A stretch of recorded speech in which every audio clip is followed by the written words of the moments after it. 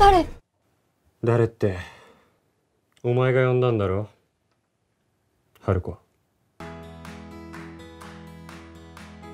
私何が自分の幸せかわからない。約束しろよ。お前自身が幸せになることを諦めないって。誰かサポートについてくれる人いませんか？推しは無限の愛を私に与え続けてくれんの。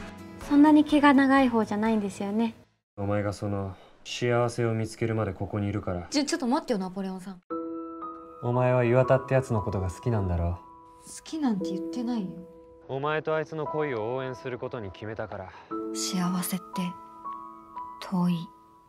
お前の前から。消えたくなった。